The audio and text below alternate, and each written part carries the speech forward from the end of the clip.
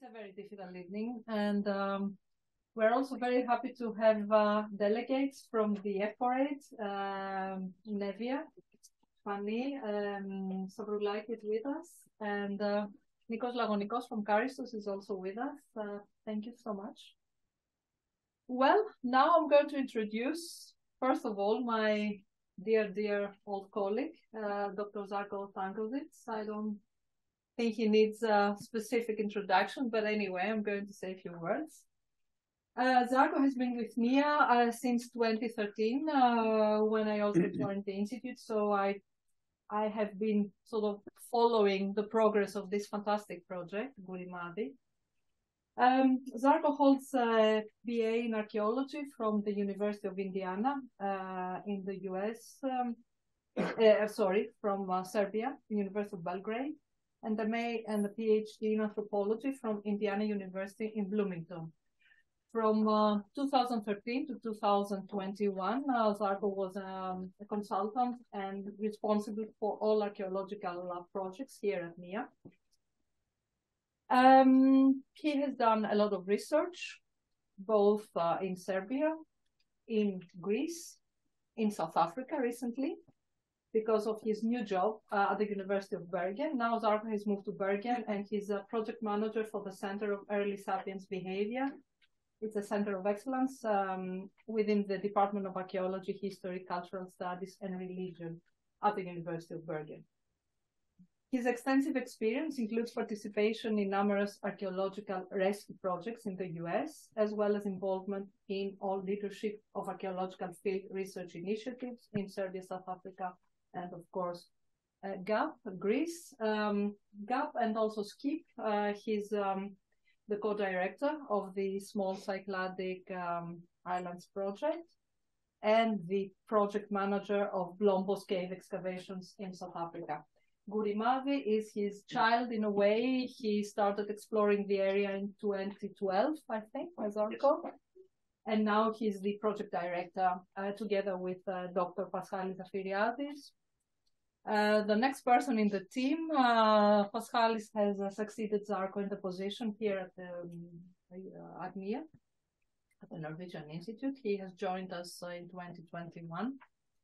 He is uh, an advisor and researcher at the Norwegian Institute, and at the same time, he's teaching archaeology, prehistoric archaeology at the um, um,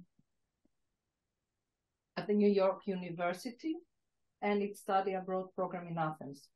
Paschalis uh, holds a PhD uh, from the University of Cincinnati. Uh, he's an archaeologist specializing in Aegean prehistory with a primary focus on the intrasite spatial organization of late Neolithic, early Bronze Age communities. He is also very interested uh, in other uh, fields of uh, archaeology, theoretical archaeology, excavation, methodology, and stratigraphy, digital archaeology and cave archaeology. Paschalis has been uh, a field researcher and uh, field director, and uh, he's co-directing GAP. Uh, this project involves a Neolithic early Bronze Age excavation in Charistos, as you probably know, and is conducted by the Norwegian Institute since 2018. Uh, Last but not least, we have um, Very honored to have uh, in the team um, cultural um, ministry archaeologist uh, Dr. Fanis Mavridis. Fanis is with the Ministry of Culture, the Ephorate of Paleoanthropology and Speleology. He has received a BA, uh, an MPhil, uh, and a PhD from the National and Kapodistrian University uh, in Athens uh, in Aegean, in archaeology and specifically Aegean prehistory. And uh, he expanded his academic uh, studies by receiving a Master of Science uh, from the University of Sheffield in environmental archaeology and paleoeconomy. Fanis has been um, awarded a grant from the National uh, Scholarship Foundation together with other numerous scholarships and research awards. He served as a Getty Research Exchange Fellow for the Mediterranean Basin and the Middle East, uh, studying Neolithic uh, Anatolia. He has also been teaching at the university in a National and Kapodistrian University to graduate and postgraduate students. His academic interests focus on Neolithic Aegean, Bronze Age Cyclades, and cave and island archaeology. Uh, Dr. Mavridis has conducted systematic and rescue excavations in various regions, including Attica, Euboea, and the Cyclades. Also, Akrotiri on Santorini. To date, he has authored three books and over 50 articles, contributing significantly, significantly to the field. Um, before I give the floor to, to you three, uh, you representing the team, Zarko and Paschalis. I'd like to say that we also have a publication uh, by Dr. Zarko Tankosić on uh, EVIA following a conference uh, that happened in 2015. And the book is um, sold out. You can't find the physical copy, but you can uh, find it online through the uh, University of Bergen Library.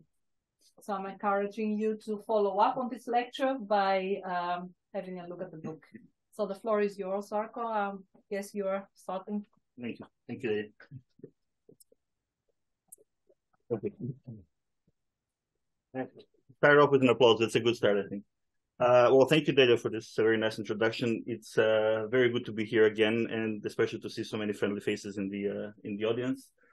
Uh, it's a bit of an emotional comeback for me, I have to say, uh, because I have uh, many, many times been in this room, but this is only the second time I've given a lecture from this side of the pulpit. Last one being 2011, just before I moved here. So it's also a, very special, um, uh, special moment for me. And also, as they said, Gourimadi is my baby. Uh, you know, it's uh, it's a combination of a lot of research with a lot of good people and colleagues in the area and uh, uh, we I think have hit a jackpot in many ways. Uh, so I'm very proud of this site and all the people that are involved uh, with the research there. I also like talking about my research, so I apologize if I will go a little bit too long this time, but um, I don't come to Greece just for nothing. So, uh, just to repeat what they just said, the, Gourimadi Archaeological Project, or as we lovingly call it, GAP, um, it creates some confusion, I can tell you. but on the positive side, we can use GAP equipment as our own. Uh, is a uh, a single run archaeological excavation uh, uh under the uh, from a, a, permit from the Norwegian Institute at Athens, uh, which belongs to the University of Bergen, and so do I in a way, and is given a permit by the of course the Ministry of Culture, and we have had I have to say a very good and seamless collaboration with the ministry and especially the Ephorate in Evia. I've been working there since 2005 through many different uh, directors and many different with many different colleagues some of us not some of them not among us uh, anymore unfortunately and i can say nothing but good words uh, on my collaboration uh, with uh, our colleagues there uh, for those of you who are not familiar with the chronology and i'm assuming there's not that many of you this is generally the period that we're going to talk about so we're talking about the late neolithic the end of the neolithic period Paleolithic and the early Bronze Age, especially its two uh, phases, because we have so far not found um, the third phase. So we're talking about two, two and a half thousand years of prehistory. Now, this is uh, a subject of a lot of discussion and controversy. I know that many people working on these periods have different opinions uh, how the chronology goes.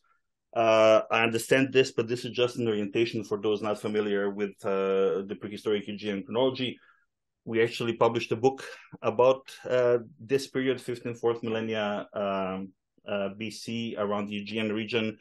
Uh, I am sorry for the shameless self promotion, but it was an excellent conference that we did together with our colleagues from the Danish Institute in Athens and my good friends uh, Fanis Mavridis, Soren Dietz, and uh, Turan Takaoğlu from Turkey. Uh, the conference was great. I think the book uh, that followed it is even better. Uh, look it up if you're interested in this uh, period. It has a lot of interesting stuff from the Balkans, uh, Anatolia, and generally the uh, the area of the Eastern Mediterranean. Now, to go back to the topic of our talk tonight, the site of Gourimadi, uh, for those of you not aware, uh, it is on the southern uh, tip of the island of Evia, the second largest Aegean island, uh, very close to Athens, or relatively close to Athens. Uh, Southern Evia is a very special region to me. I uh, have been working there, as I said, since 2005. I consider it my second home, in fact, probably my first home at this point, after having moved so much. It is a very interesting region as well in terms of um, uh, archaeology and geography. It's a very um, um, diverse region.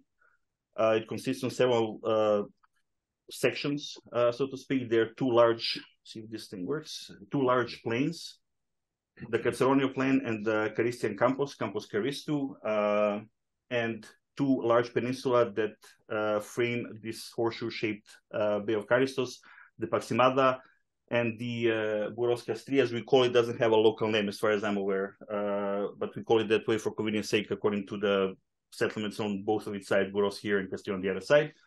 So this is uh, these two plains and the area around the bay is what I consider Caristia for terms of in terms of prehistoric occupation.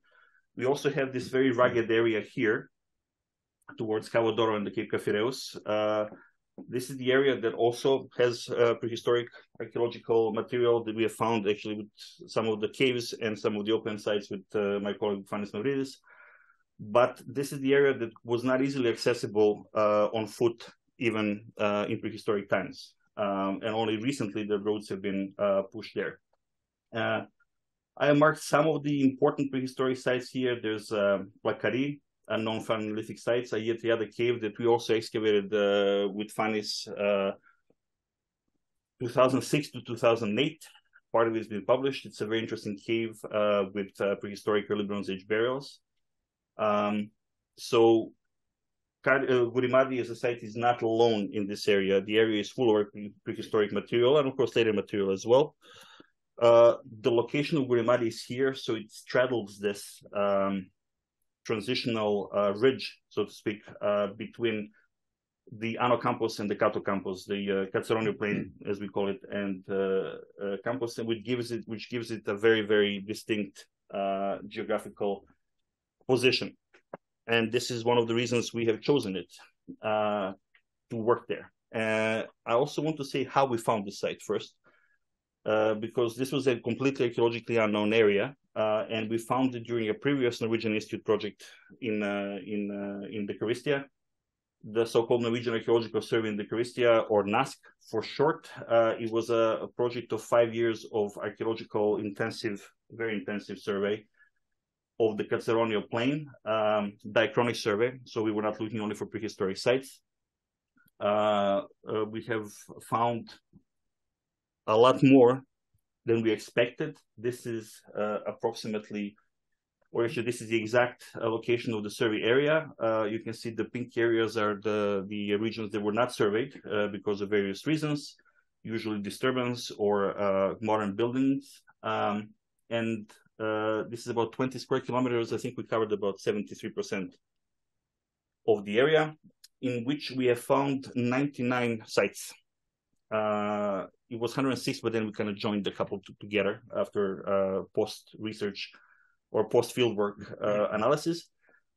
We have 36 prehistoric sites, which is a large number. And when I say site, I just want to specify not all these places are settlements. Some are just scatters of obsidian or scatters of pottery, more or less representing um, places of activity, whether single activity or repeated activity remains to be seen. Um, but uh, the, mo- the majority of the sites we found actually belong to the classical period. Uh, however, 36 prehistoric sites is very, very impressive for an area of 20 uh, square kilometers. Now, there are several reasons why we've chosen um, Gourimadi as a site to uh, expand the research on.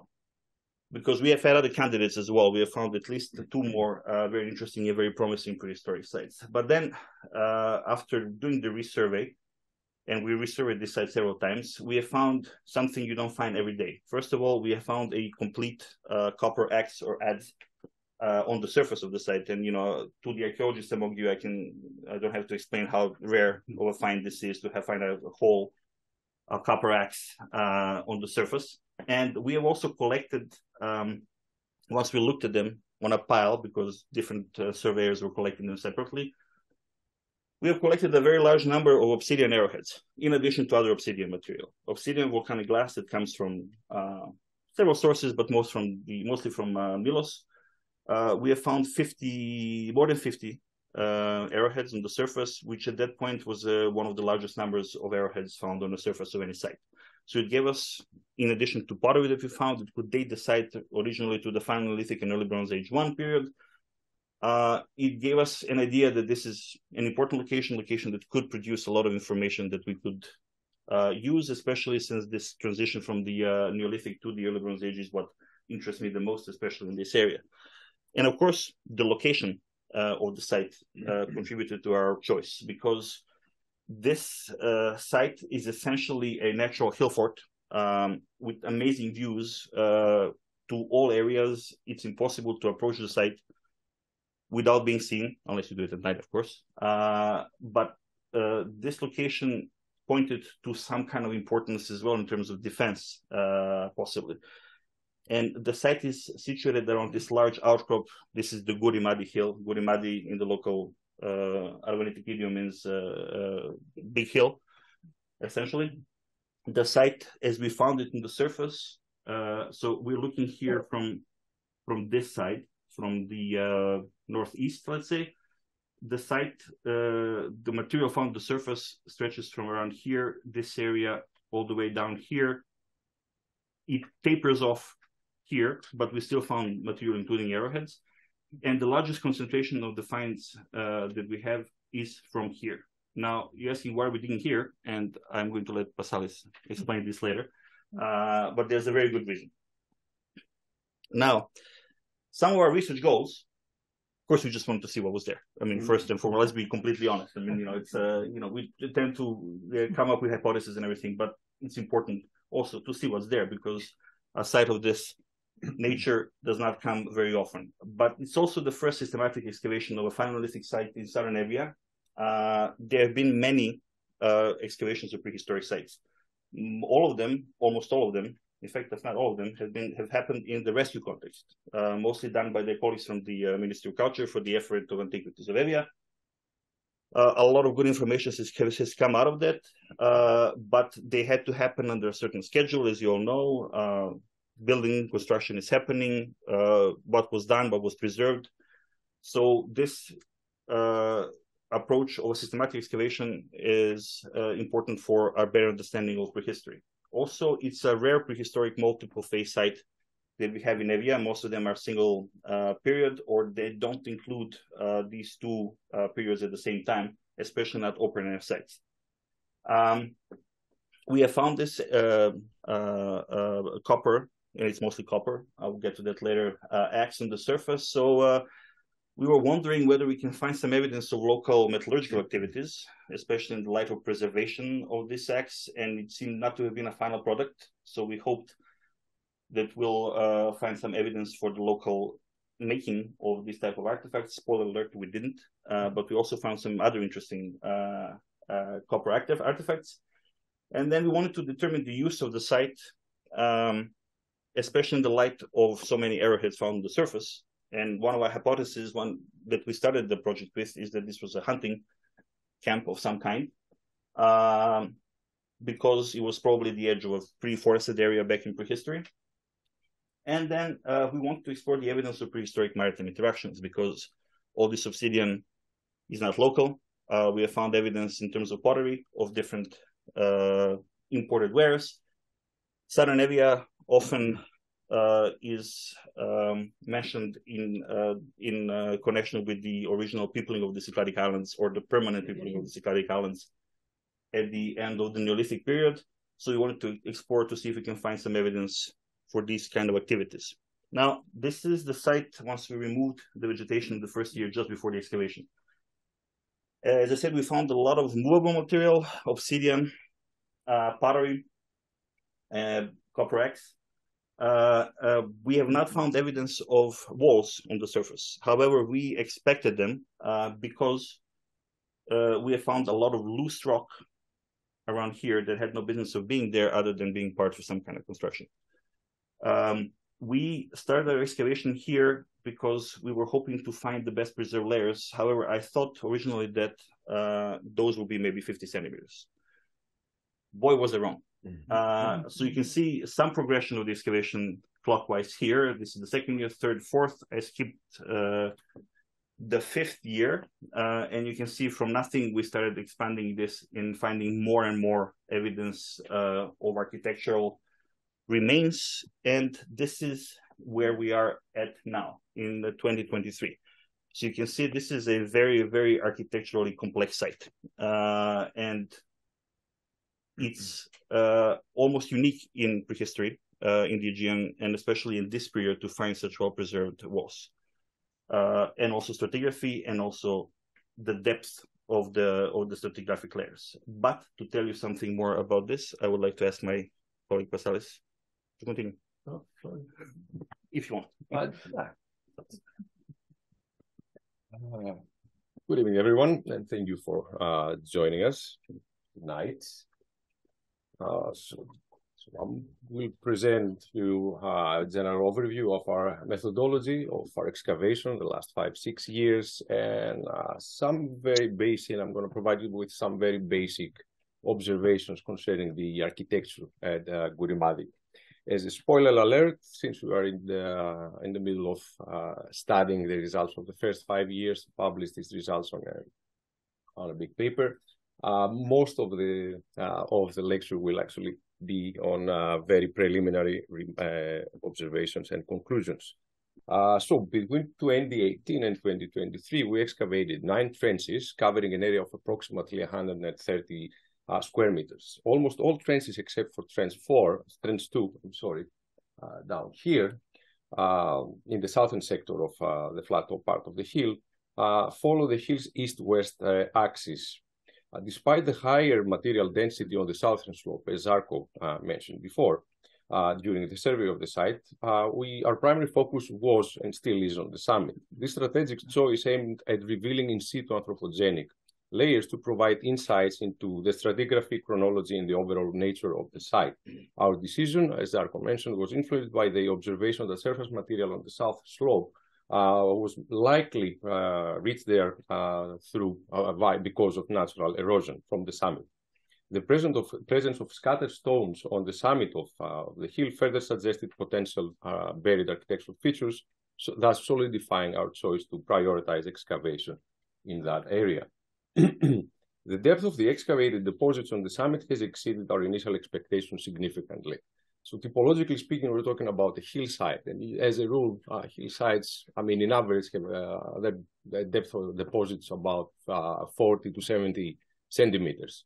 Uh, we actually uh, revealed part of the bedrock now in about 1.92 meters below the modern surface of the hill.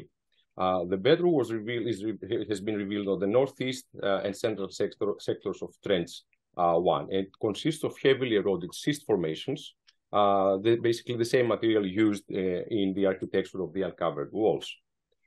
in some areas, the bedrock is also intermixed with natural reddish brown clay, clay deposit. directly above it, we have unearthed an inconsistent thin layer containing small sherds and stones, uh, while in the central sec sector, uh, this layering also includes charcoal spec specks and burned building material. Uh, our excavation methodology is grounded on our commitment to reconstruct the site's formation processes with meticulous detail, aiming to document individual and or intersected depositional episodes and contexts. To ensure the consistent application of our methodology, we employed the excavation unit as our primary excavation and recording entity. Following protocols similar to those widely used in other projects, we conceptualized the, the excavation unit as representing three-dimensional space, uh, in, in, including the excavated soil and any, sort of architecture uh, or, uh, or feature. Uh, in principle, each excavation unit can represent an individual anthropogenic or natural depositional activity. However, in practice, it wasn't always feasible uh, to trace such individual episodes. Uh, therefore, many times during the excavation, we had to define arbitrary excavation units, uh, which were later merged uh, post-excavationally.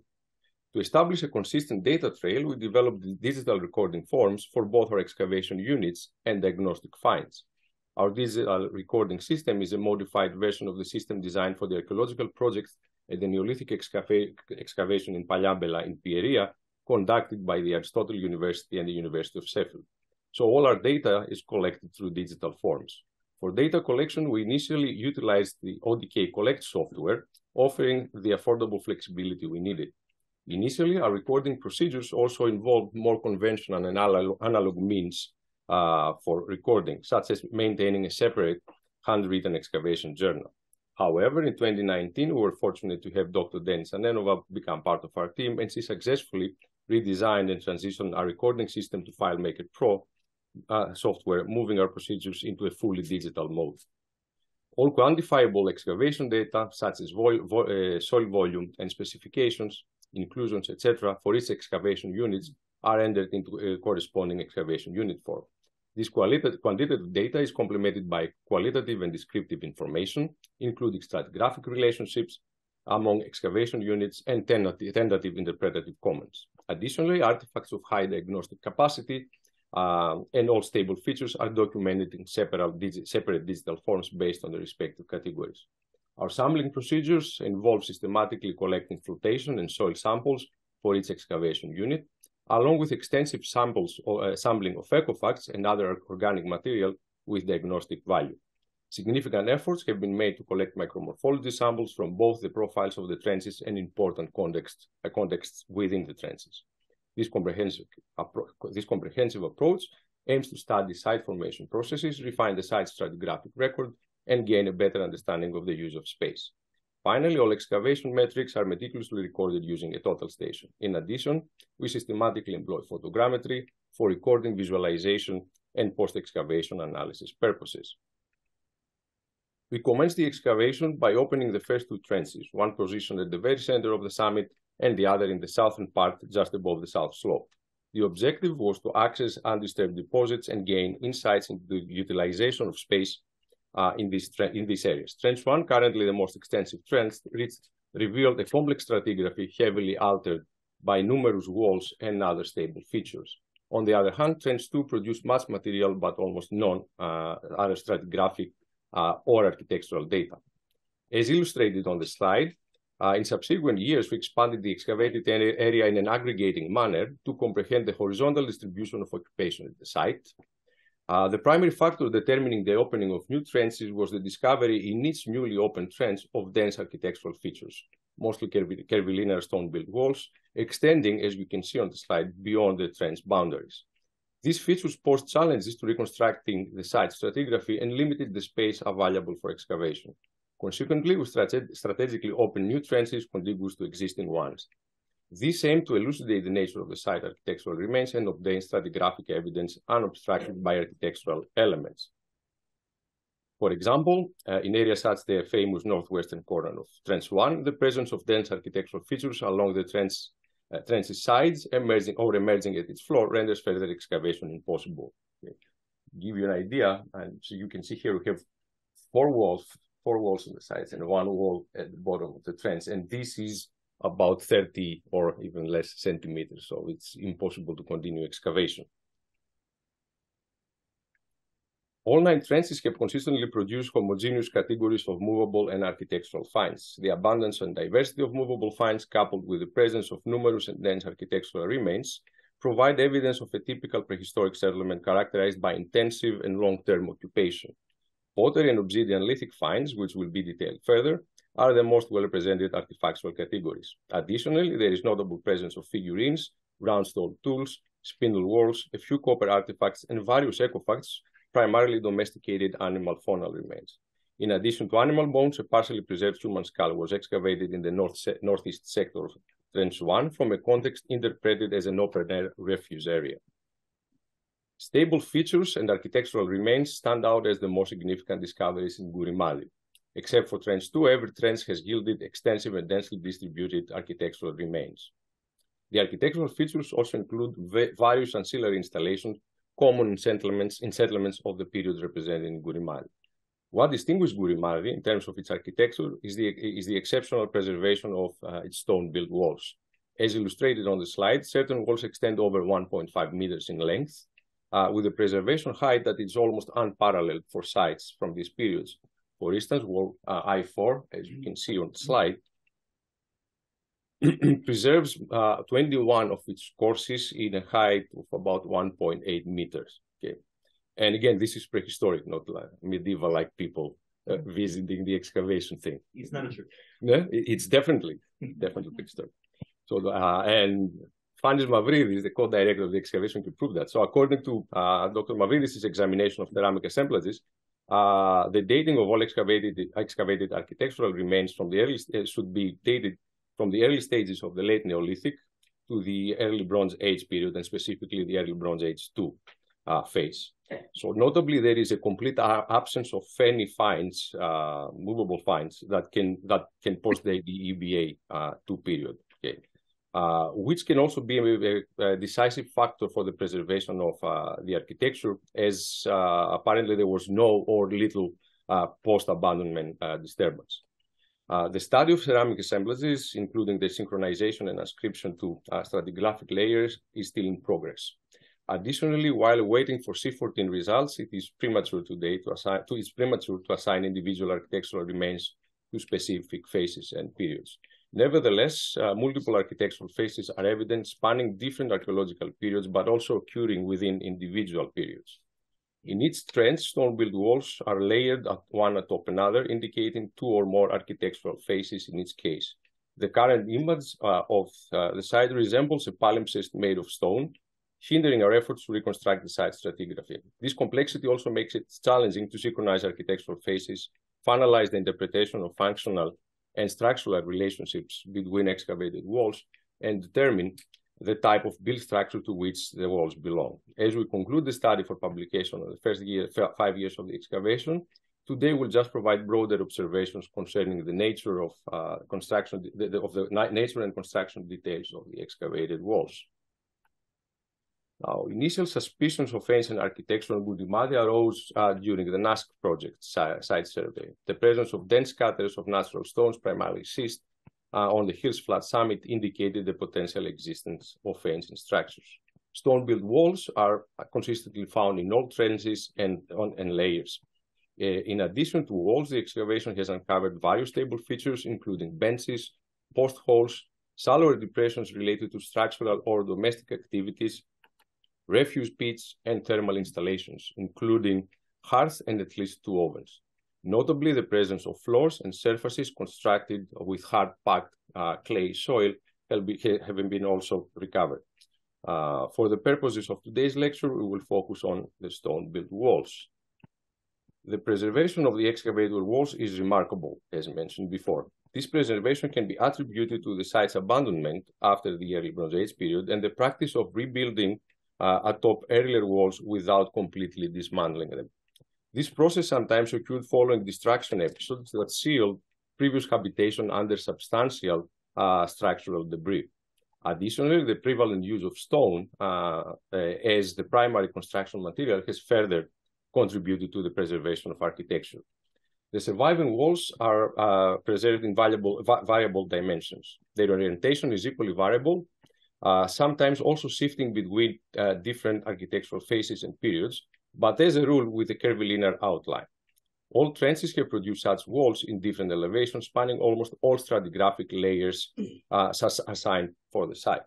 Despite the numerous walls, as excavation in all trenches is incomplete, it's insecure to move on with assigning complete or partial uh, ground plans for the involved constructions. As you noticed, most of the walls are of significant length, exceeding the boundaries of single trench. The partial reuse of earlier walls as foundations for new construction appear to be common, a common practice in Gourimadi.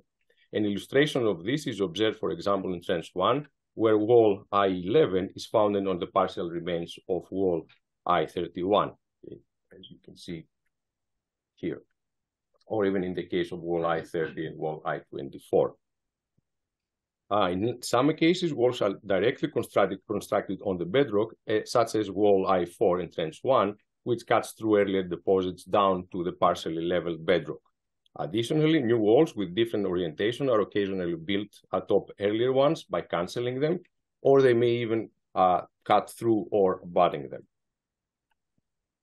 A preliminary examination of the walls indicates a rather stable masonry style, utilizing the soft and readily available local schist found in abundance uh, on the hill. The initial assessment of the building material does not reveal extensive preparation of the stones before construction.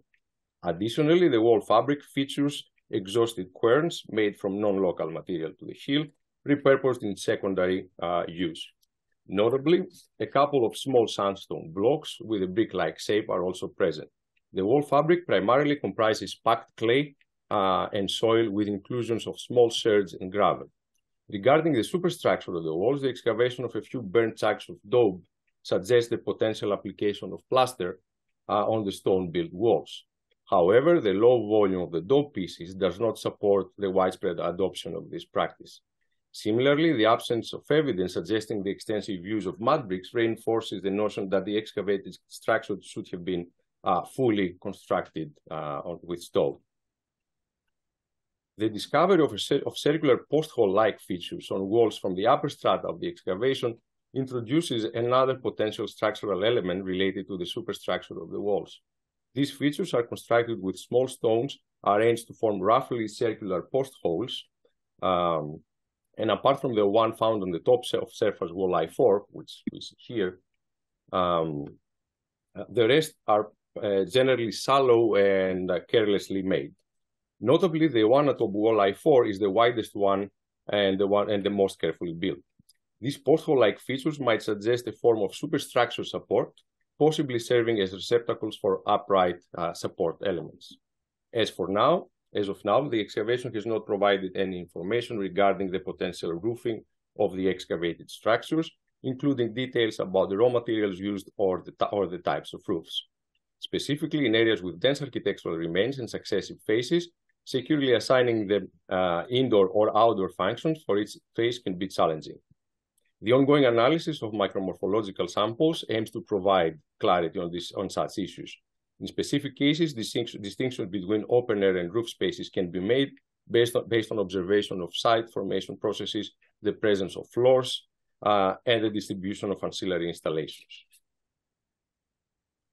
Before offering some uh, general concluding uh, observation on Gourimadi's architecture, it's crucial to mention the presence of a very peculiar and unique uh, both for Gourimadi but also for the whole southern area architectural feature from the lowest levels of trenches 5 and 6.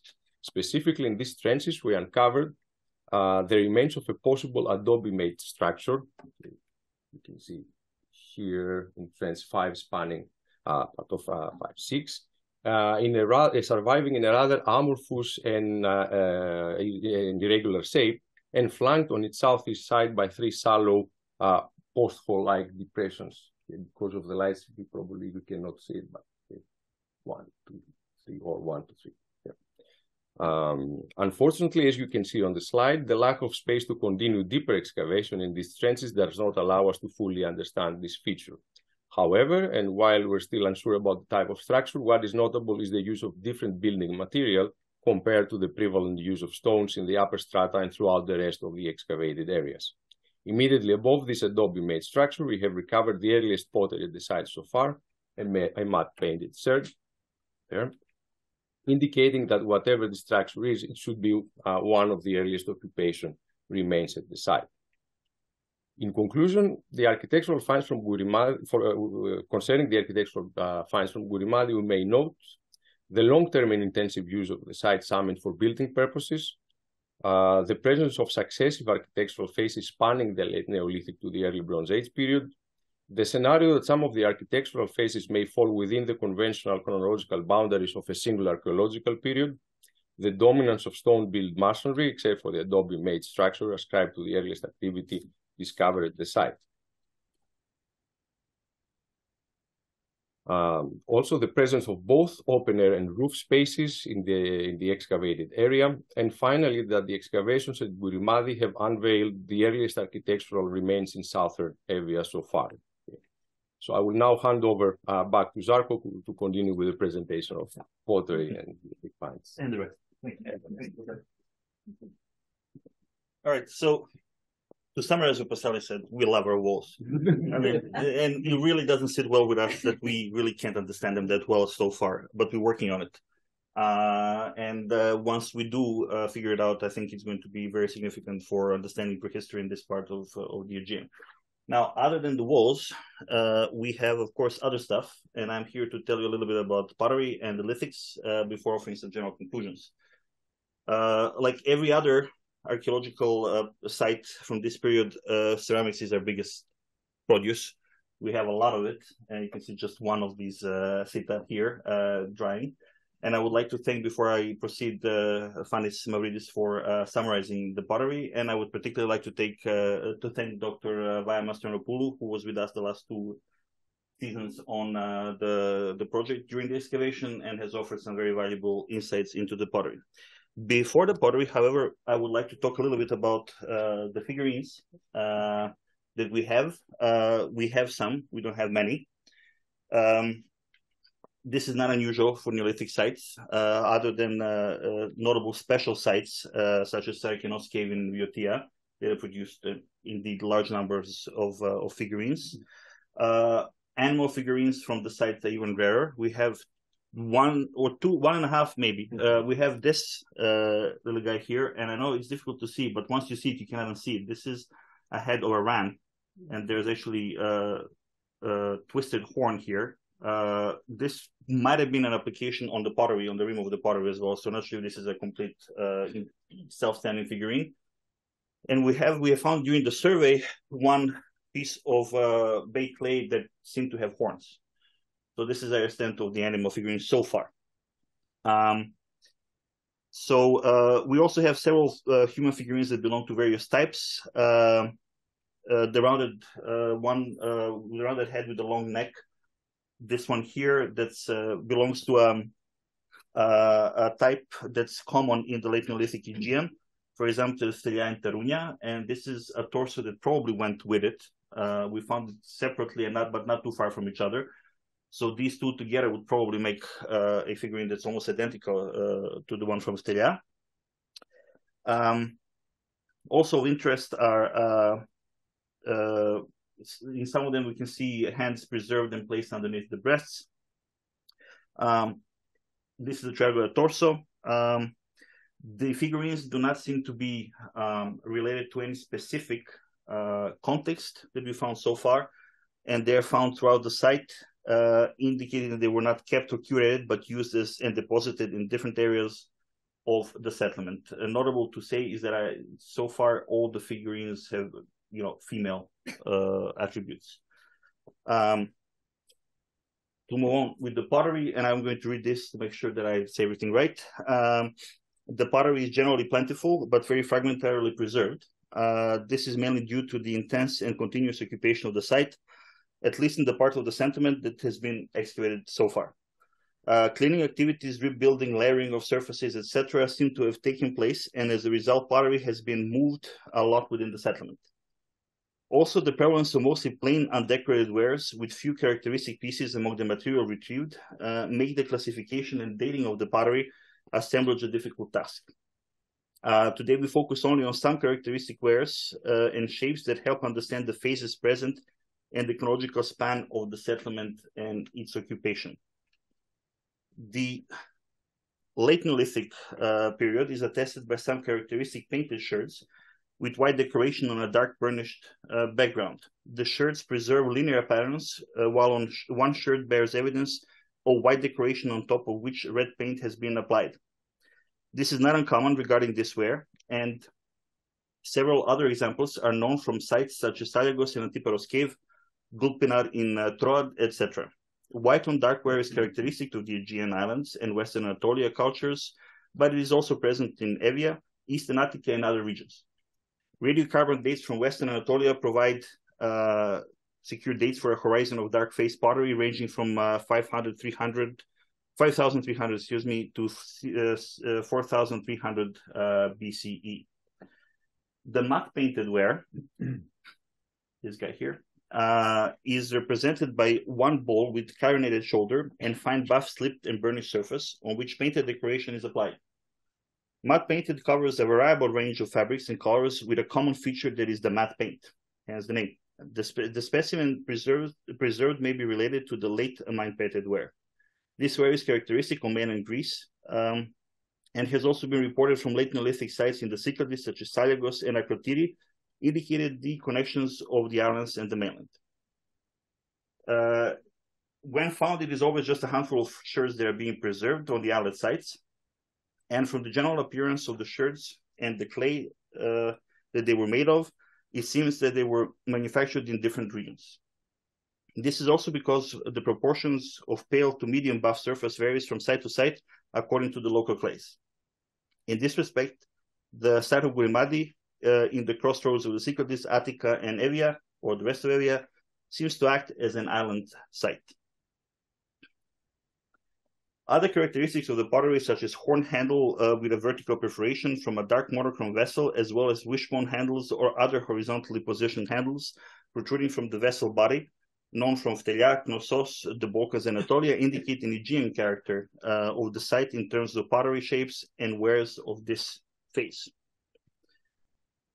A variety of lugs and handles are also characteristic, mainly various types of horn handles. Few pattern burnished sherds, elephant lugs, plain vases with zones below rim with incised diagonal lines are characteristics of the so-called Attica Kefala culture.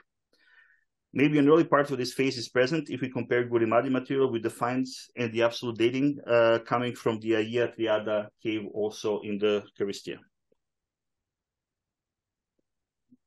Crusted ware is also present. Uh, some examples with patterns may be synchronous with Phtheliak. Uh, they are executed on black or dark brown surfaces. It seems that crusted ware continues until the earlier parts of the early Bronze Age, as we know to be the case from sites such as the Akrotiri on Thera or Tsepi in the Marathon. It is also present during the Attica Kefala culture. At Gourimadi, it occurs in both red and white. However, little can be said about its use due to the bad preservation. Some handles that we found may also be parts of the so-called uh, Neolithic uh, or late Neolithic scoops. Uh, many bases have traces of mat impressions, as we know uh, from the late Neolithic two sites, such as Kefala and Tharrounia. The early Bronze Age 1 and 2 phases have started to be better attested during the last excavation seasons. Uh, characteristics are P3 with rope decoration, T-rims, and plain pottery with horizontal or tubular lugs and handles. Some rolled rims are also present, and they may belong to the both early bronze A1 uh, and 2 uh, phases. Many cheese pot fragments belong to the early early bronze 1, as we know to be the case of assemblages in sites such as the Akrotiri on Thera, Aligna, in the Dodecanese, and many more. This particular shape has a long life and seems to appear from the later part of the late Neolithic, as we know from the sites such as Saliagos, Phthelia, and others. Urfirnis sherds and bases of footed bowls and sauce boats are also indicative of the face. A semi-coarse uh, to fine reddish orange clay may belong to this stage. We already know from the Ayia Triada cave from the same region that the fine wares coming from various Cycladic islands were present in the Karystia at least for burial use. For example, Urfirnis pattern painted wares on a light background, etc., as well as from Attica, so-called the white mottled ware. Finally, many sherds bear relief and incised decoration, and they span most of the range of chronological periods present at the site. Uh, the study of pottery is ongoing, and it needs to be combined with the study of architectural and stratigraphic evidence, as well as uh, uh, absolute dating uh, techniques to help us determine the more precise uh, cultural phases, continuities, and discontinuities of the settlement history and approach with more precision aspects of production, circulation, consumption, and deposition of pottery and other artifact categories that we identified.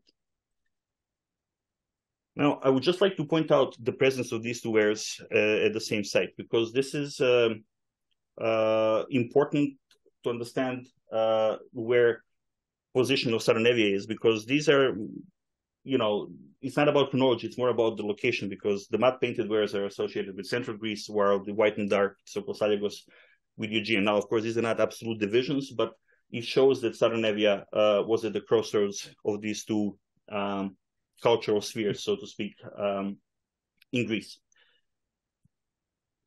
Now, uh, our second uh, biggest product of uh, uh, of the site of the excavation are the lithics. Our lithics are 99% obsidian. Uh, we have so far not found a single piece of obsidian that is not from uh, Milos, as far as I know. Uh, our obsidian specialist is uh, Dr. Katerina Psoma, uh, working on this. Uh, the uh, interesting thing, we have many, many pieces of obsidian. We have thousands, tens of, well, definitely 10,000, maybe not tens of thousands, but 10,000 and more pieces of obsidian from various different uh, production stages. So we have uh, essentially an entire chaîne opératoire. We have not found any unaltered pieces of obsidian, but we have primary flakes, secondary, tertiary, semi-products, uh, products of resharpening, pores, you name it, we got it. Uh, of course, the biggest claim to fame of Gourimadi so far is uh, the uh, large, large number of arrowheads, obsidian arrowheads. Uh, so far, we have more than 300. Uh, they uh, there's some chronological variation. We have some of those that are called ovate, rounded shape that are more associated with earlier phases of the late Neolithic and then some of them that are more typical for the final Neolithic and early Bronze Age. Unfortunately, there is not much, not, not much chronological distinction between the end of the Neolithic and the early Bronze Age when it comes to lithic tools in terms of technology, so we cannot use them for precise chronological uh, designations. Uh, however, on suggestion uh, from John Cherry, um, we are going to look for inter internal chronological variation as well to see if this uh, uh, it can tell us something about the structure of the site and its uh, chronological development. but so many arrowheads um, is almost unique uh, in this area. Uh, in all of Greece, in fact, you don't find that many arrowheads. And I think Fanis, uh, he can contribute later if uh, questions, has worked on a site in in um, uh, Western Greece uh, with a Danish team, in fact. Uh, that they have found also a large number of arrowheads, but a very distinct uh, uh, assemblage of animal bones that shows that they were used for hunting. Uh, we, however, have all our animal bones, or most of big majority of our animal bones, are actually from domesticated animals. So, why do we have so many arrowheads? we can discuss later. We also found other stuff, um, just a selection of materials we have here uh, domestic implements such as this little ladle or spoon. We have uh, uh, polished stone tools, although not that many as we would expect from Neolithic sites, and not large ones. Usually very small ones. I think the biggest one is this a big uh, that we found so far in an area that should have been wooded back in prehistory. We have, from what we can see, an unaltered uh, half of a uh, spondylus shell uh, we have, other than the axe we found the surface, in the excavation layer, upper excavation layer, so early bronze, uh, we have found um, this uh, that's very similar actually to a Neolithic one we found in the Ayia Triada cave. And this season we have found this uh, piece of rock that's broken up here in the surface. This is a perforation that we interpret at this point as an arrow shaft straightener based on similar artifacts found in North America. Um, I welcome other interpretations, of course. Uh, we believe that these these two holes were probably made for the the, the implement to be attached to something, maybe onto the ground, so it can it will be stable and used for this purpose, and it would make sense with so many arrowheads. Now, clearly, uh, this site is uh, part of a network of maritime interactions, although we didn't find uh, things that would directly point to this. Uh, for example, uh, carvings of ships or boats, as we do find them elsewhere in the Aegean, uh, or even boats or ships represented on the pottery or any other material. Uh, but why engage in maritime interactions is the question, and the, the usual common reply is the necessity. Uh, the explanation goes that the communities are too small for genetic reproduction, uh, and likely presence of incest taboos that exist in many societies of this type uh, would drive people to go search for mates outside of their communities. Now, this may not necessarily be true for the Karystia as a whole, because you know, according to some or according to my estimates, uh, the population of Karystia was at the very least a thousand people in any given moment, which is more than enough for uh, genetic viability. Um, absence of raw materials and other resources, for example, metals. Uh, we'll talk about it a little bit. Clearly, obsidian did not come uh, from Karystos; it was imported from somewhere else. But uh, in other uh, in other ways, the Karystia or the Karystians might have been sufficient.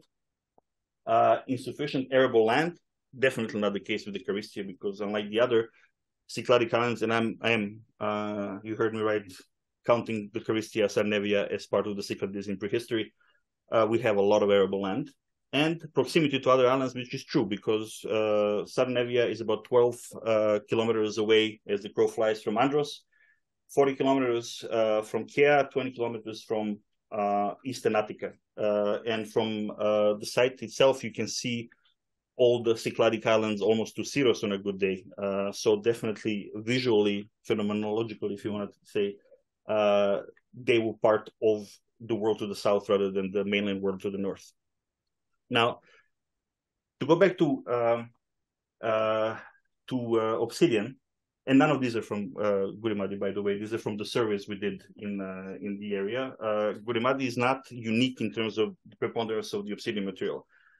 We found so much material obsidian in uh, in the Karystia uh, on sites, individual pieces all over the landscape. Uh, we had one site that has 8,000 pieces that we collected from the surface. Uh, I think maybe the, the largest obsidian scattered so far in Greece that I'm aware of. I've not kept up with the literature lately, so please forgive me if I'm wrong. Um, so clearly, this was the main raw material for the production of lithic tools. Uh, there isn't any, although there's some evidence for local uh, cherts. They're not of the very good quality. However, better quality cherts exist elsewhere, not or can be easily obtained uh, from locations that are closer to the Karystos. However, uh, most of the material is still obsidian. So this was a cultural decision to use obsidian over other uh, raw materials. And obsidian, forgive me for this, uh, could only have been gotten uh, obtained uh, by the sea route. So using a boat or a ship to travel there. The current explanation goes that likely obsidian procurement was done individually by individual communities who use it rather than people from uh, Milos trading it. This can change uh, with the advent of new evidence, of course. Also, metals. Now, uh, these, the the drawn ones, are actually from the Ayia Triada cave. Uh, this is from about the same period as the thickest layer of, uh, of uh, chronologically speaking, from Gourimadi these are from the early Bronze Age burials from Ayia Triada cave.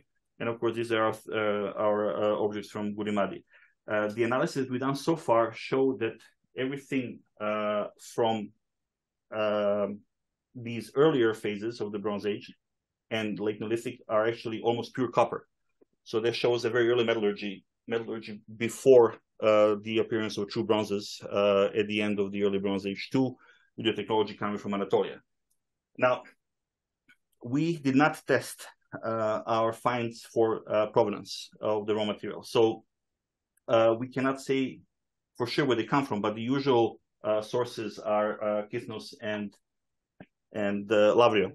Yes. Uh, however, there is a non-copper source, as you know, Stephanie, in in northern part of southern Evia.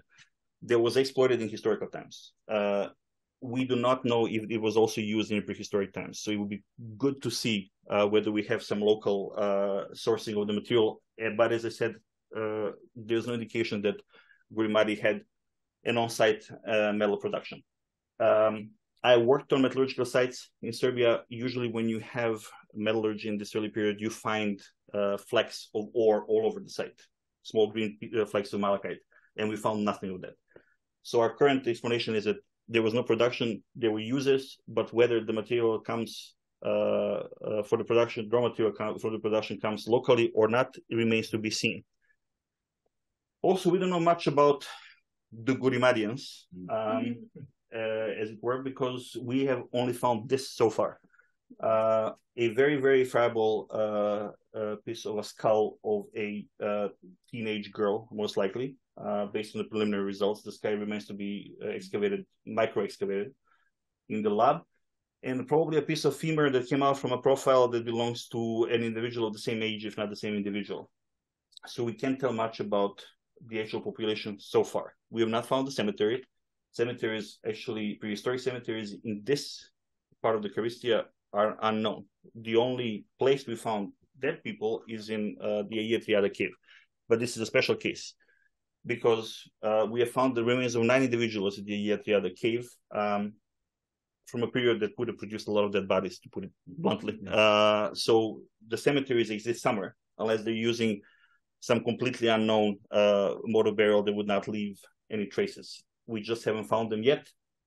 We have some indications where they might be around Gourimadi. We're leaving that for another time. Don't don't tell me. I'm not telling anybody. Um, so, uh, uh, what is Gourimadi? Uh, what we know so far about Gourimadi, they should have uh, said better. Uh, so what this is one of the few well stratified sites that bridges this Neolithic early Bronze Age transition, and that's very important as most of the people here that work on this type of pottery.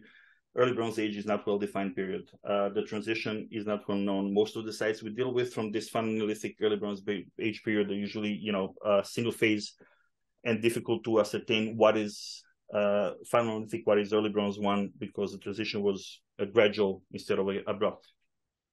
Um, so far, this is the earliest, uh, absolutely the earliest early Bronze Age find, uh, or rather, sorry, uh, prehistoric open air sites in Southern Evia found thus far. And to be perfectly honest, uh, full disclosure, we actually did not find any late Neolithic on the surface of the site when we surveyed the site. So our goal was to look for FN EB1 transition, but then earlier stars started appearing. So also, uh, I mentioned this so you understand that not always it's easy to see what's under the ground based on the surface material.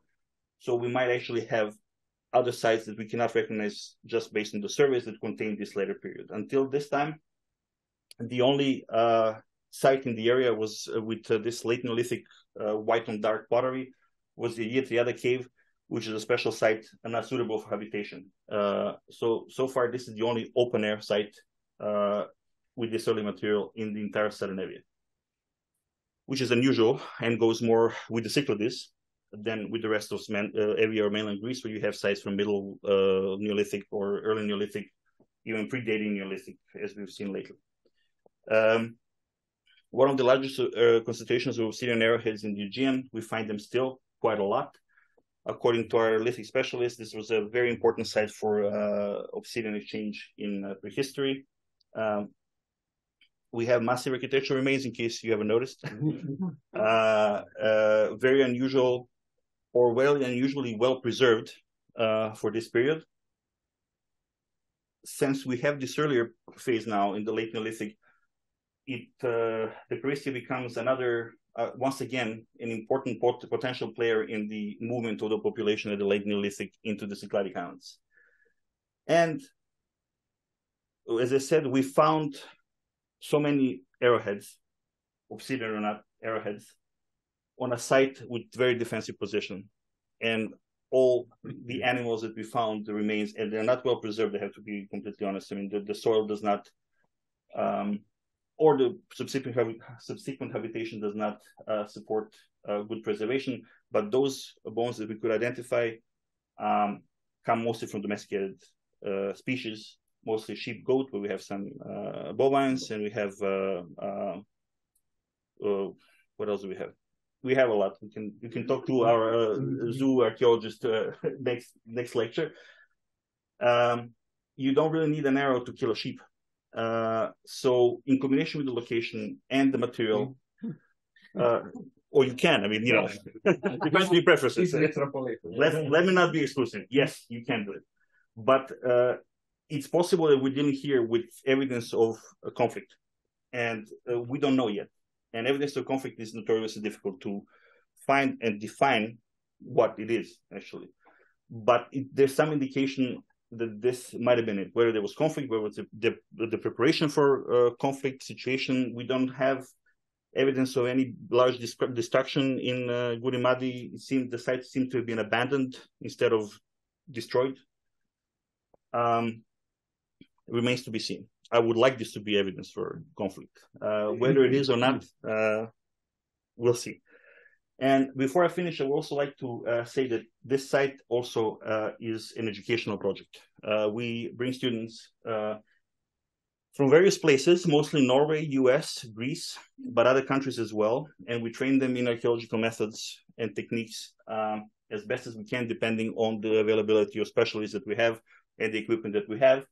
And I'm happy to say that from next year, we're going to firm, uh, be in a formal uh, field school for the college year in Athens, who will send us their students. Um, it's a, uh, a very rewarding activity we have in Gourimadi because it teaches the students transferable skills, how to excavate a site, which is similar whether you're in Norway or in Greece and helps them get jobs afterwards. Uh, well, especially in Norway, in Greece uh, job market. No uh, Yeah, the Greek job market at this point is not promising. Uh, but they will have the skills. Uh, for whatever they need them, and including also the old-fashioned skills. So we do the digital recording, but we also teach them how to do stuff without digital recording because you know you cannot always rely always rely on on um, on technology uh, in every given situation.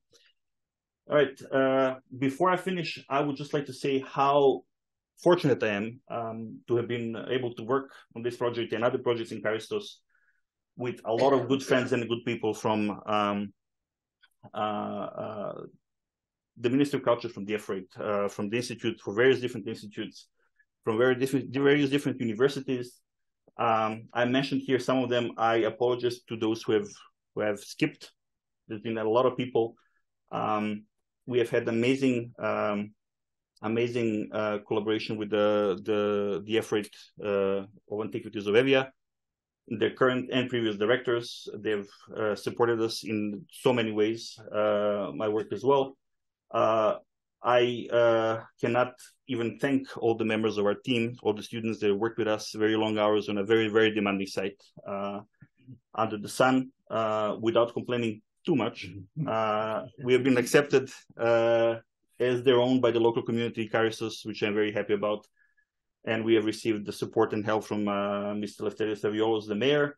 We have received funding from very different sources, primarily from uh, University of Bergen through the Norwegian Institute in Athens, but also from Institute of Aegean Prehistory and uh, Terna. Uh, you have a list of people, not extensive one here, that I would like to especially thank. Uh, I'm not going to go through them. You know who you are, and I'm so, so grateful for everything. Thank you so much.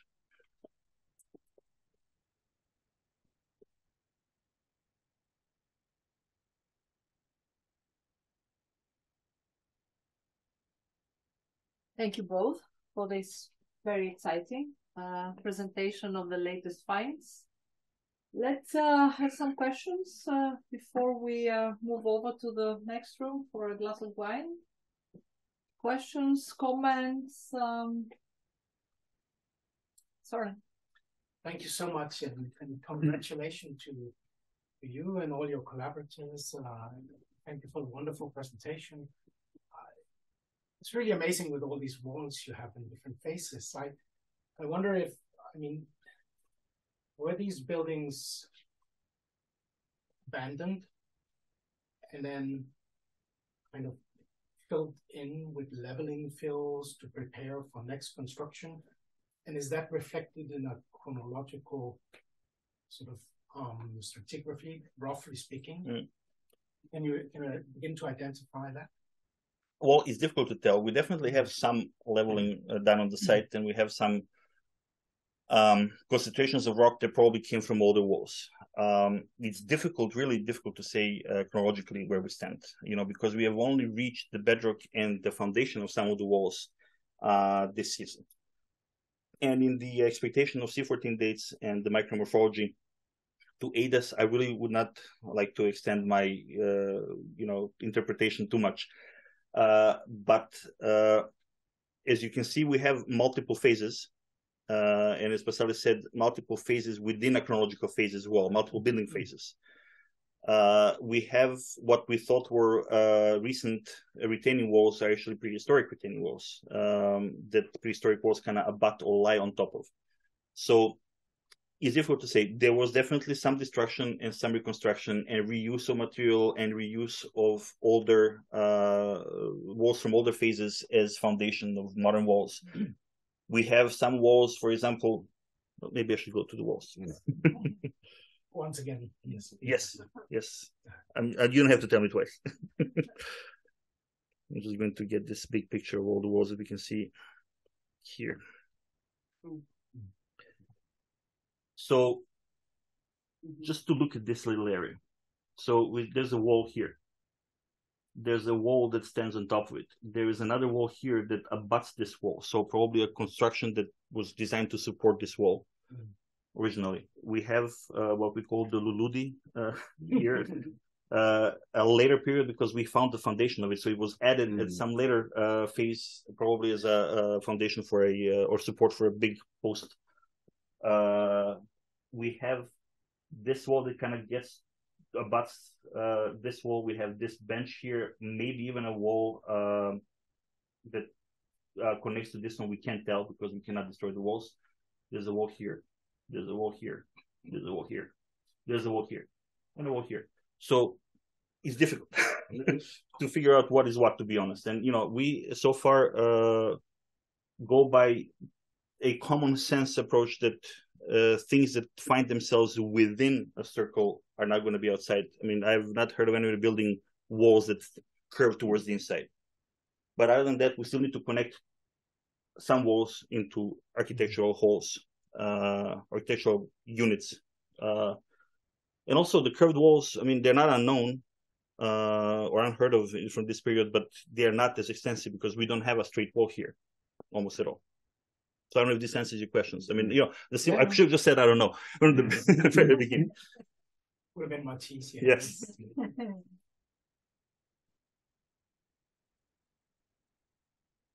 Uh, Sorry, very quickly. Uh, is the fact that they are not straight, could that have something to do uh, with um, the ground itself? Good question. Um, I don't think so, uh, because I mean the area here that you see is fairly flat. You know, there's some, you know, there's some indication that they follow. There's a, a mild slope going this way, so this east, east to west. Uh, but again, nothing uncommon for rectilinear walls we find everywhere else. So I, I don't think so. Yeah. Okay. I just had like one question on the walls and mm-hmm. then a few questions on the pottery and lithics. Mm-hmm. So one question, what is an adobe uh, structure adobe? Is um, uh, it's a clay structure essentially. It's a clay. Uh, often it can be or doesn't have to be burnt there are three different ways that uh, Neolithic people built walls that I'm aware of. Uh, most of them we don't find in this part of, of Greece. Uh, using adobe uh, architecture, one is uh, building a uh, stone foundation and then putting posts with twigs in between and then putting clay on both sides.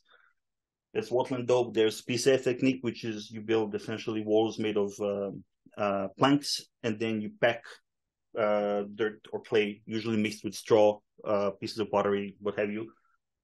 Inside, and then there are the mud bricks, usually uh, unbaked, uh, that we find in, on some sites. Uh, we have none of that here. Uh, and usually, when walls are destroyed, they appear as daub, as burnt reddish clay. We have pieces of that, but not enough to say that they were walls on top of the foundation. So, our working hypothesis is that these were structures, as Paschali said, mostly made of stone. And um, we have no bricks for sure. And when there's a big superstructure made of this adobe of clay that was not destroyed by fire and it just melted away, usually you can see it stratigraphically uh, as more or less sterile layers on the site. We don't have this. And uh, one more on the pottery. Mm-hmm. Uh, so, were the pots like on inside these like walls are close to the walls or like on outside the walls. Because I gone to the university to Kriti a week ago, mm-hmm. and my professor said there was some part like outside the walls, like an ancestor cult hmm? Is there something similar with religious context or any cultic context? Yeah, they're from all over. I mean, there's no, yeah, uh, everywhere. Uh, like they come literally from everywhere in large quantities. We have no, we okay, we have some concentration, of course. Uh, mm this area here and this area here produced a lot of pottery, you know, a big pile of pottery, including burnt soil. You know, we don't know what to make of it yet. Could have been an event uh, of some kind, feasting event, maybe the uh, destruction of this room. We don't know, but we find pottery everywhere, and there's no specific concentration that we could say, you know, this pottery comes from here, this type comes from there, and here, uh, this area has produced a lot of pottery uh, from the beginning to the end. It's kind of mixed with building material, and other what have you. And with obsidian, yes, uh, because you said there's shares of progression, like from the I mean, from giant mm-hmm. thing itself to finished mm-hmm. product. Can it be said that there was like like they had like a stockpile of a warehouse or like I can just pick something up and just it up and just need. Hmm. Because also um, that there was no, it's not like hunting scene. It's like Good question. Um, I am not sure that we can answer that at the moment. We don't have a pile. We have found some concentrations, like two, three uh, cores in some areas here. I think you know along this wall. Um, that could have been interpreted as you know somebody was intensively working on the lithics, but we have found no stockpile. Um, clearly, they had to stockpile something somewhere because you know getting to uh, Milos uh, probably took a week of journey, hopping from one island to the to another.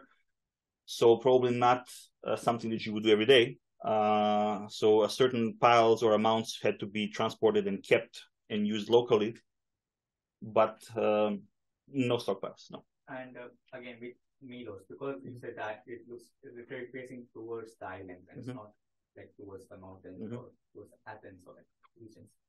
Uh, can you that this the space intrinsically have like a connection towards uh, the Cyclades or like the region thing? Like the people were similar and like my family is from there. I'm just going to mm-hmm.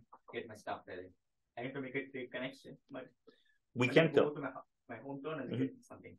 We can't tell. Uh, that's actually a very good question, and we can't tell because, uh, for example, the only uh, you you can tell that by where people grew up, and you look uh, where people grew up or where they came from by uh, analyzing uh, stable isotopes like oxygen, strontium, stuff like that, and um, you can do this. We did it in the Ayia Triada, for example, the only burials that we have uh, in uh, this part of Scandinavia of Oravia or the Karystia, and they were all local, and also did not eat much fish. Uh, but other than that, we can't tell. I mean, there was definitely communication with the Cyclades. Now, the extent of communication, how involved they were in personal terms, is a matter of speculation at this point.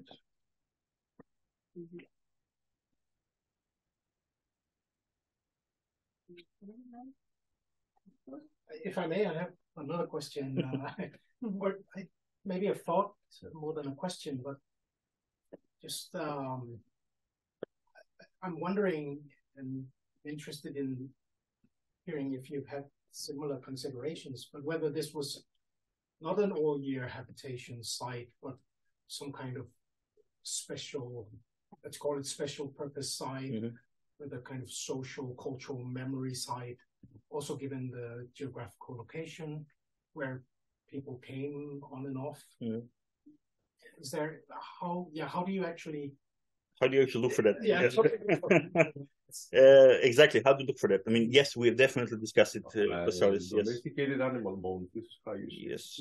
Yeah. yeah. And, which period they were slaughtered? What age? Yes but also uh, we don't have this information at the no, moment no. because we don't have that many animal bones. Uh, we have found no hiatus in the occupation, but hiatus in occupation that seasonal would not appear. Mm. I mean, you have to be hiatus over a couple of centuries to uh, appear. Also, we have domestic uh, use, but again, domestic use doesn't have to be year round. I mean, you can come there, use the site, go somewhere else. Mm. I don't know. Again, stop asking me these questions. I don't know.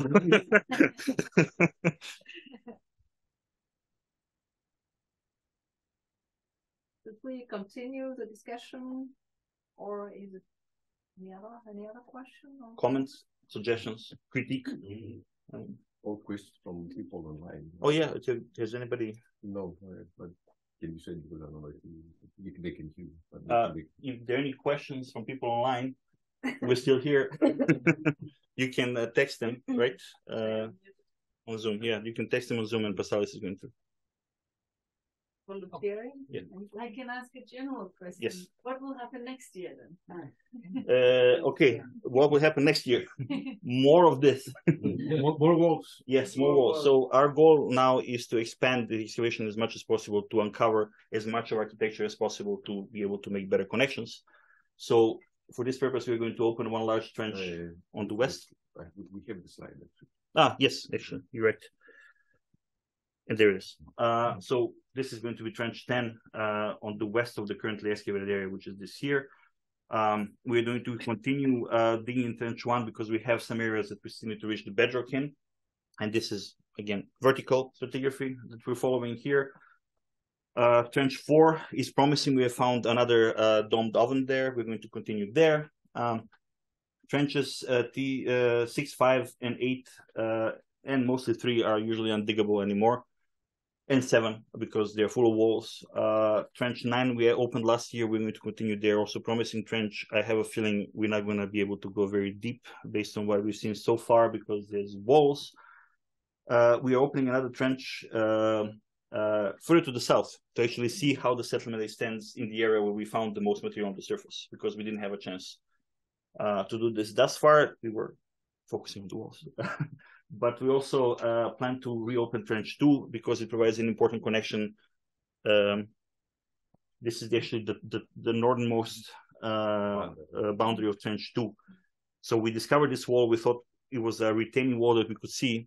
Uh, there was a modern, or modern being in the last couple of hundred years, a retaining wall. But actually, when we excavated, we found that this wall actually is connected to the retaining wall, and this guy here as well. So prehistoric retaining wall.